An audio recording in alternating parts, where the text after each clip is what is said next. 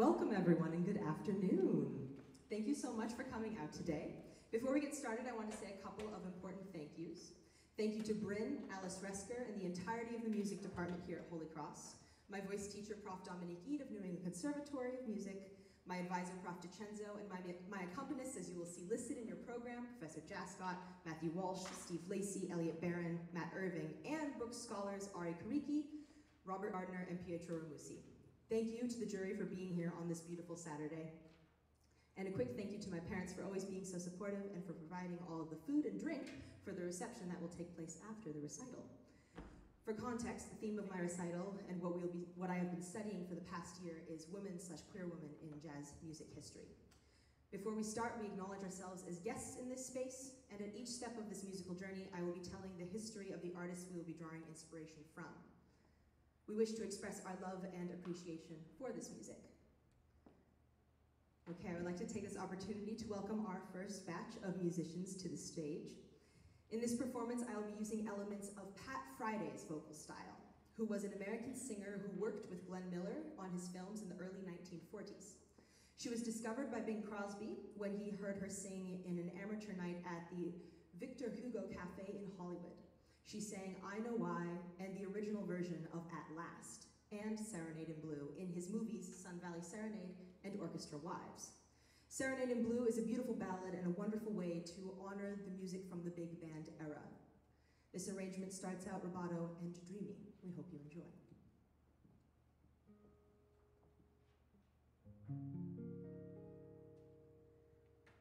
It seems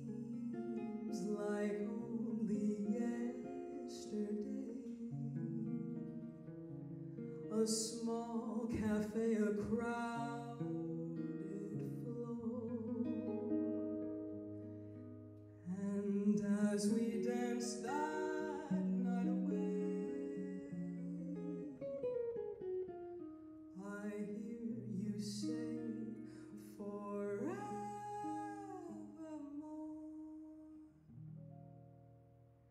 And then the song became a sigh, forevermore became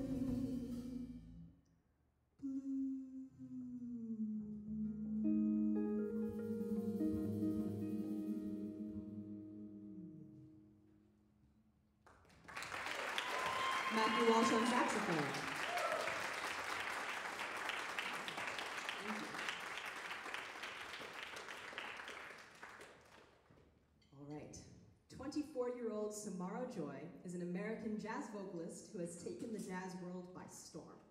She released her self-titled debut album in 2021 and subsequently was named Best New Artist by Jazz Times. Her second album, Linger a While, from 2022, reached number one on the Billboard Jazz Albums chart. At the 2023 Grammy Awards, she won the Best, um, Best Jazz Vocal Album and Best New Artist Award as well. Jazz vocal artist Gloria Lynne also recorded a version of this tune in 1961. She was an American jazz vocalist with a recording career spanning from 1958 to 2007. I will be blending their vocal styles and be mirroring Samara Joy's arrangement. This is Sweet Pumpkin.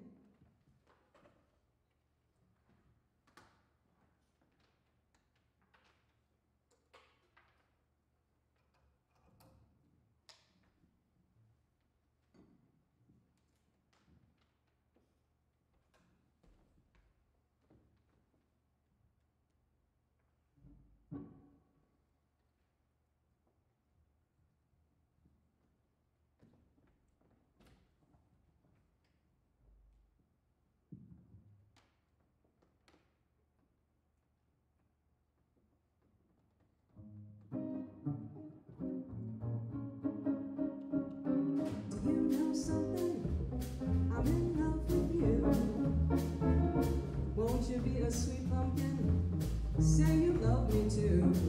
If you do, I'm certain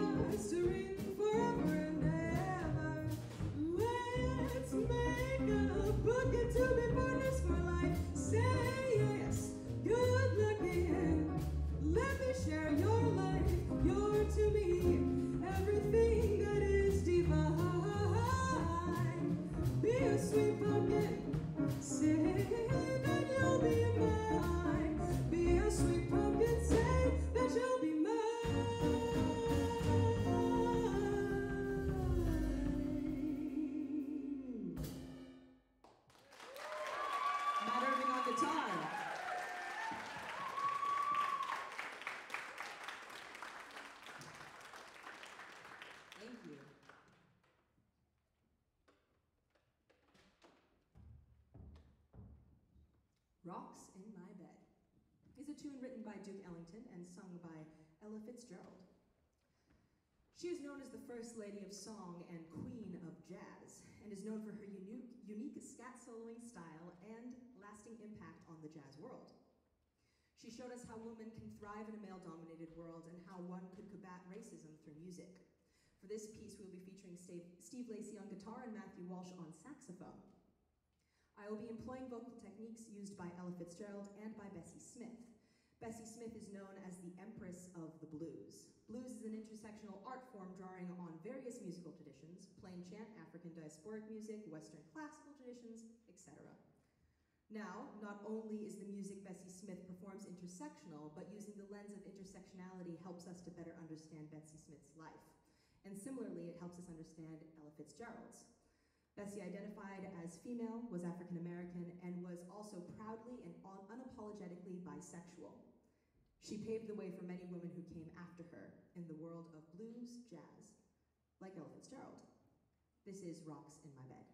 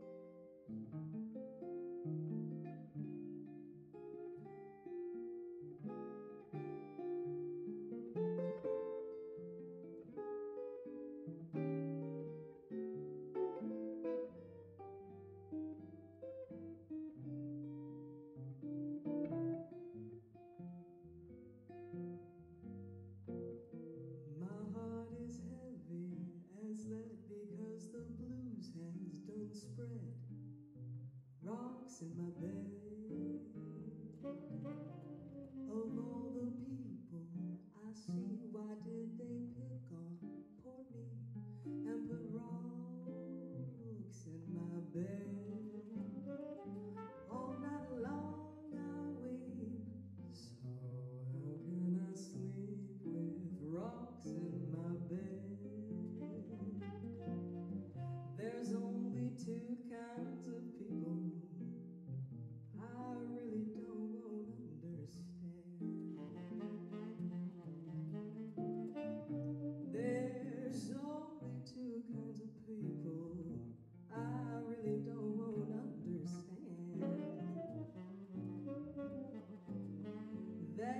That's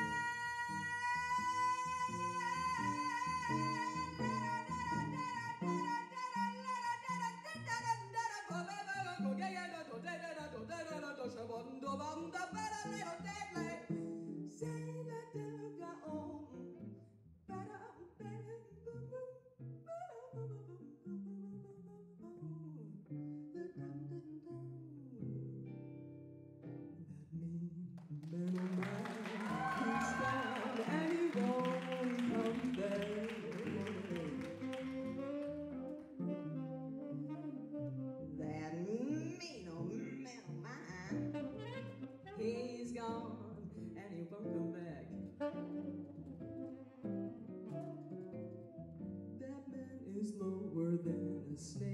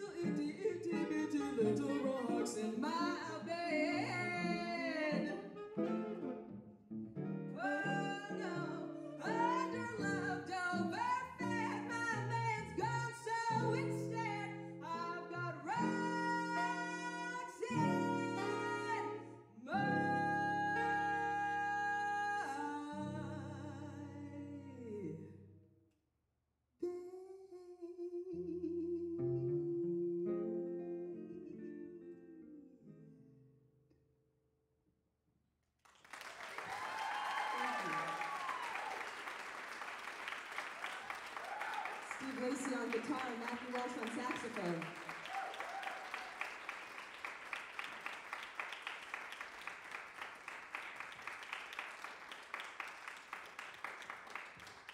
All right, at this time, I would like to invite Elliot to return to the stage and our three Brooks scholars, Ari, Pietro, and Robert.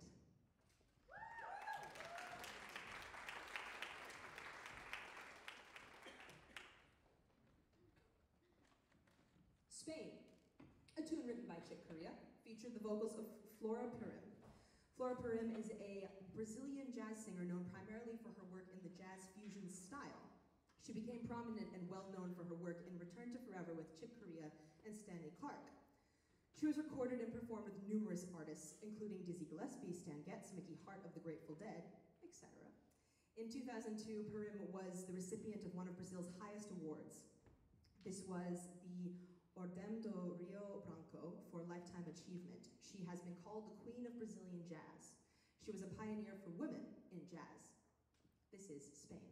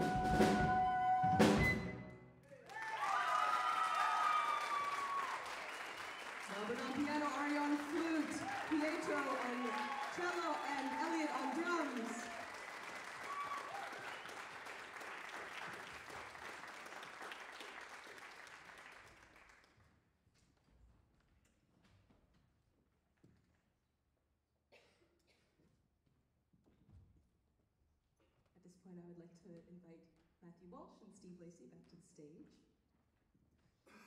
Esperanza Spalding is one of the most brilliant musical minds of our generation.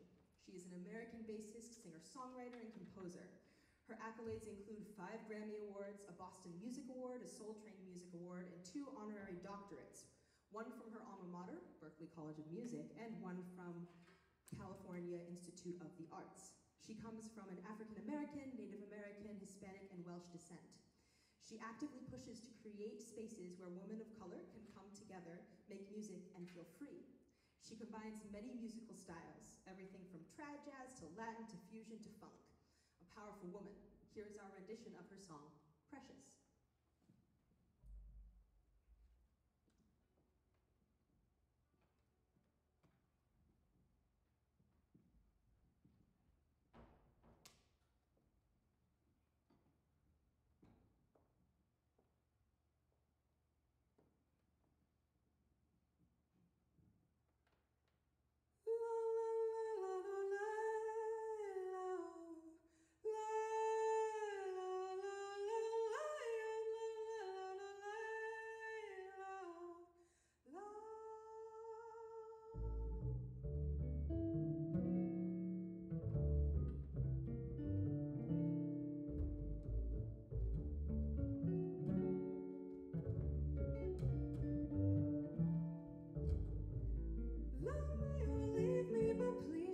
receive me and say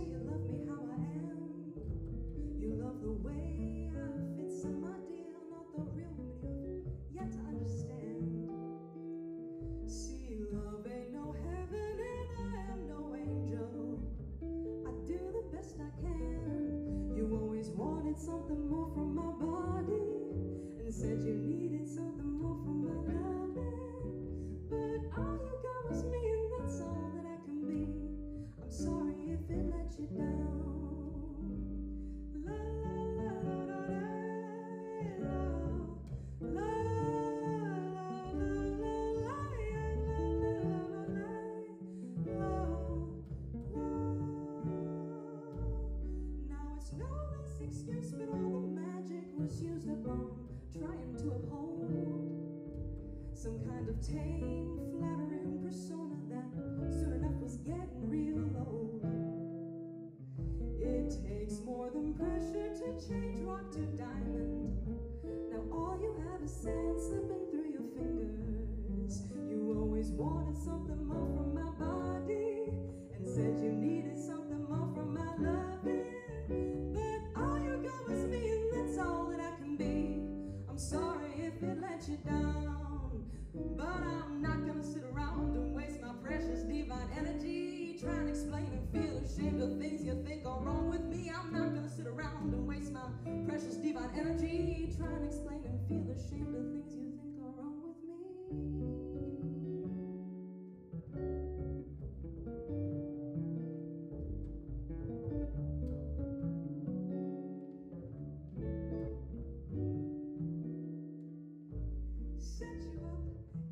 set you up like I was different than what I am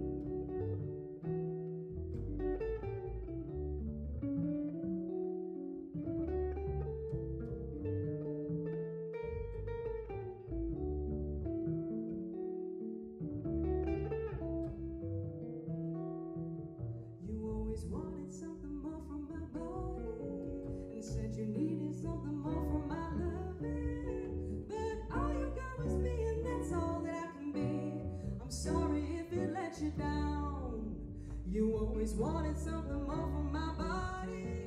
Said you needed something more from my loving. But all you got was me, and that's all that I can be. I'm sorry if it let you down. But I'm not gonna sit around and waste my precious divine energy. Trying to explain and feel ashamed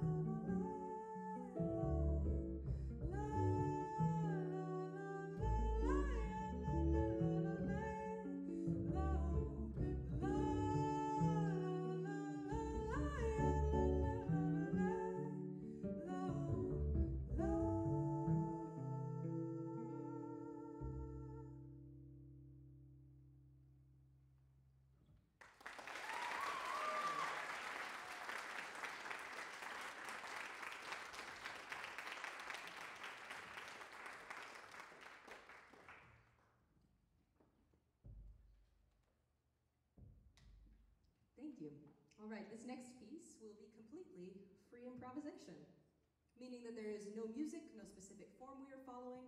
We do not know where this will go, but we will find out in real time along with you.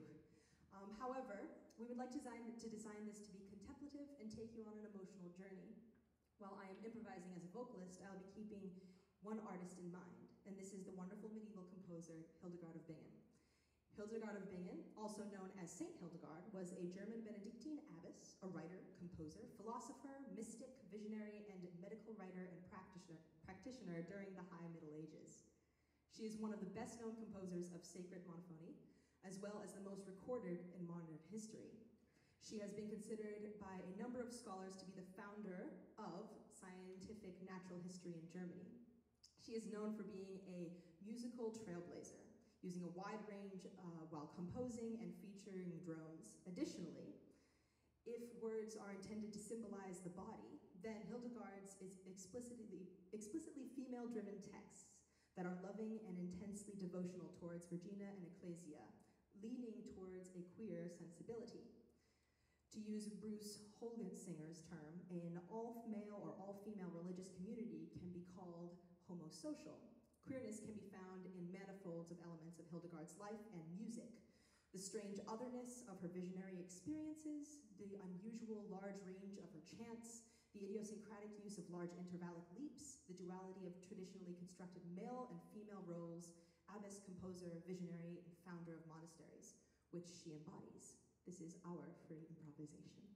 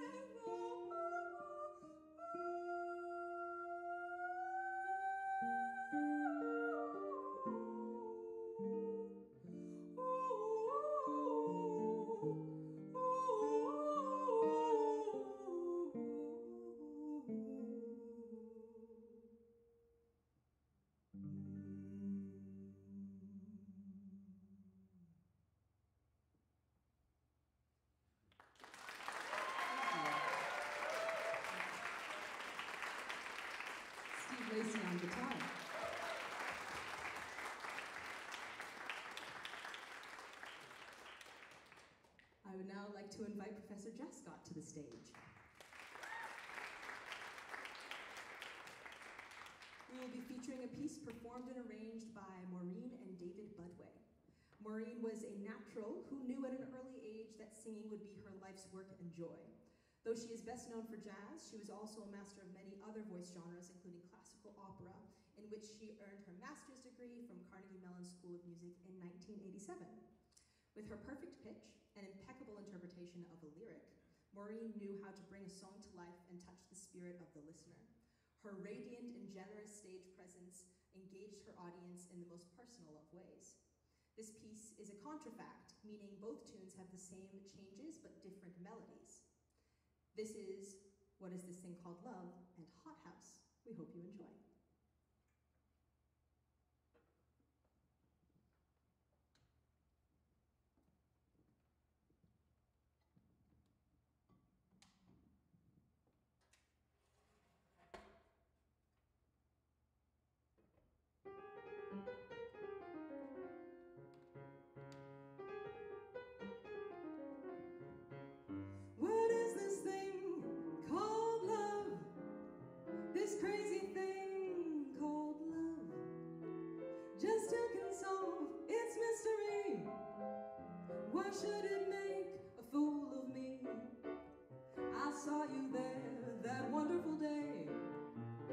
Took my heart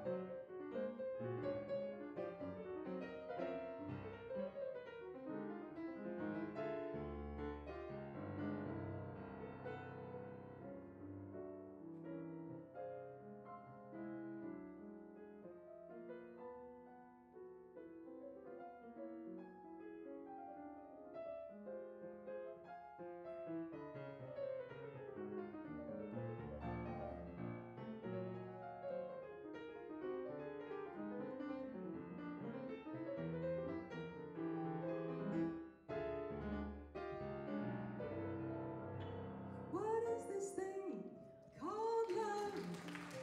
This crazy thing called love. Just who can solve its mystery? Why should it make a fool of me? I saw you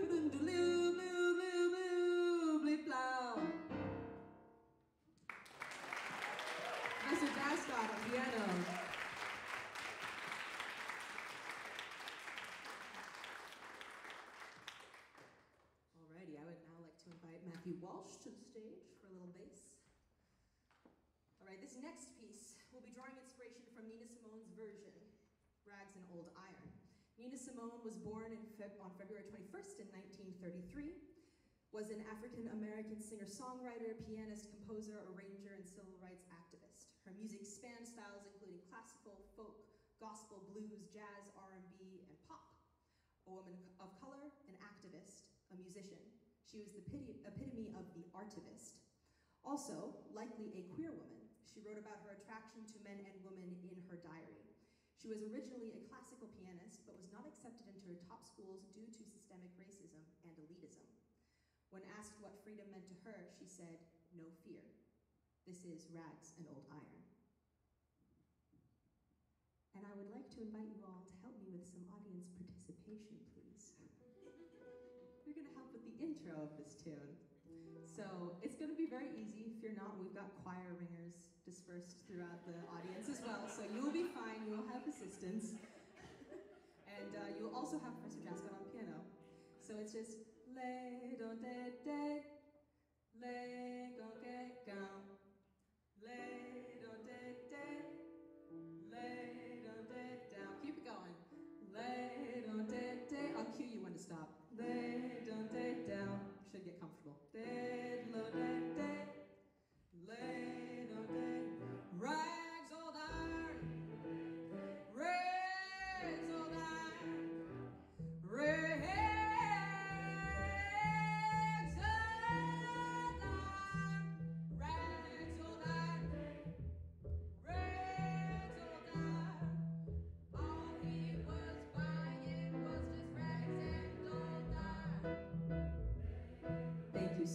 That was wonderful. Give yourselves a hand, please.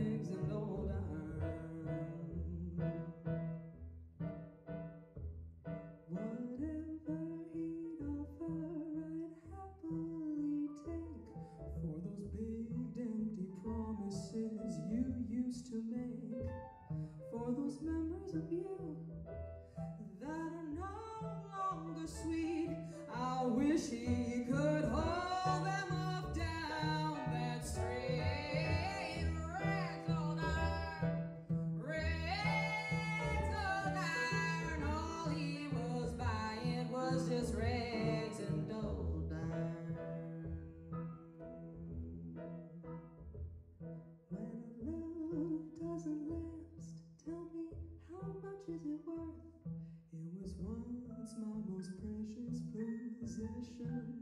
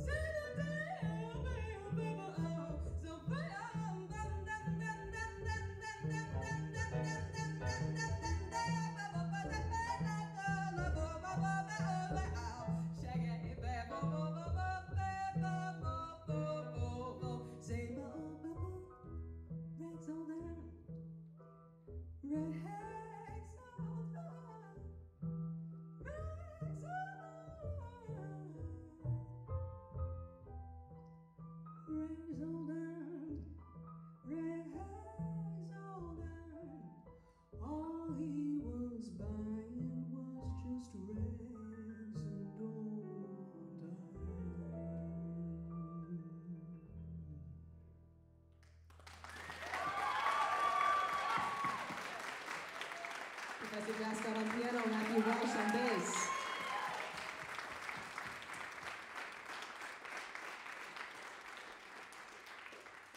I would like to invite Steve Lacey back to the stage.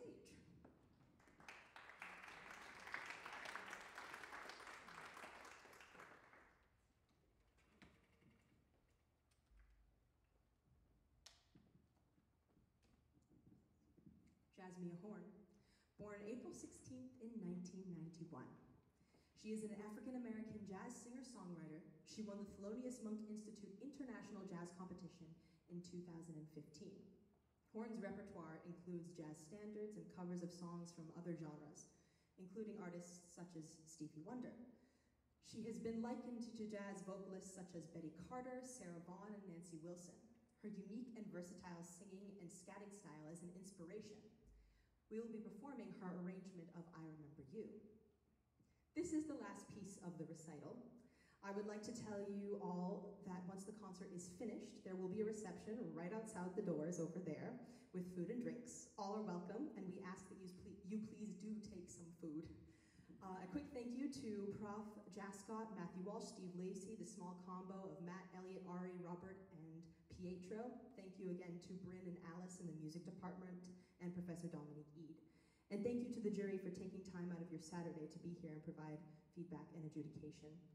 Thank you so much again for spending your afternoon with us here today, and it, it means a lot. This is our last piece, I Remember You.